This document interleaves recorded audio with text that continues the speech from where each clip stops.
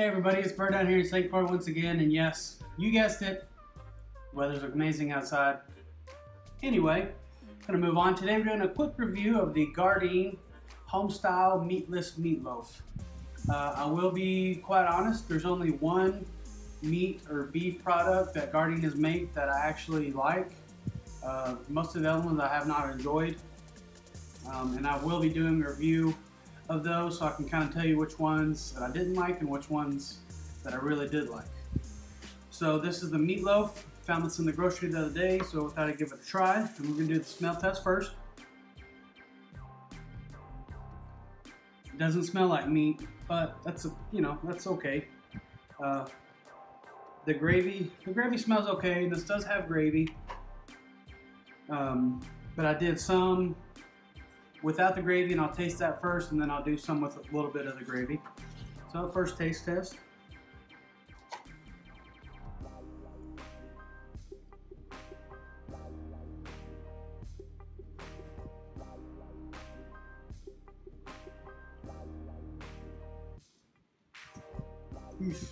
Yeah, I don't know.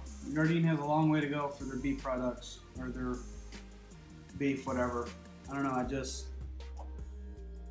what it tastes like to me is, if you've ever eaten meat in your life, which most people have that watch this, remember the really, really cheap hamburger patties that you would get that you really don't know if they're real meat or not? This is kind of what that tastes like.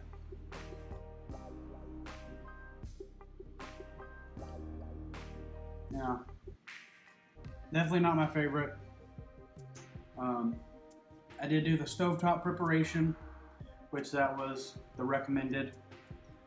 But I don't know. I just it has a it has an okay flavor. It's got it's got onion in it, I believe. So you can kind of get that little that onion bite to it. But just not not super impressed. Let me try a little bit with the gravy.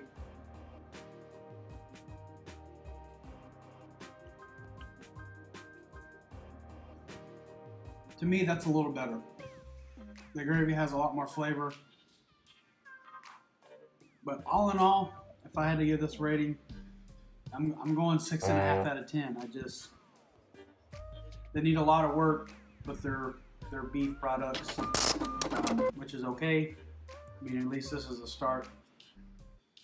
Uh, so yeah, six and a half out of ten. Not probably not something we'll buy again. But hey, at least we know, and that's the whole point of doing this stuff is so we'll know what it tastes like. That way I can tell you guys. Well, anyway, this is Bird from St. Croix signing out. Y'all have a great day. Bye.